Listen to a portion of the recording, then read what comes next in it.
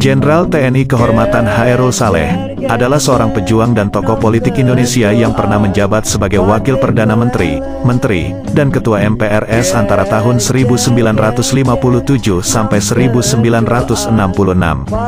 Dalam gerakan tanggal 30 September, semula nama Hairul termasuk salah seorang tokoh yang akan diculik.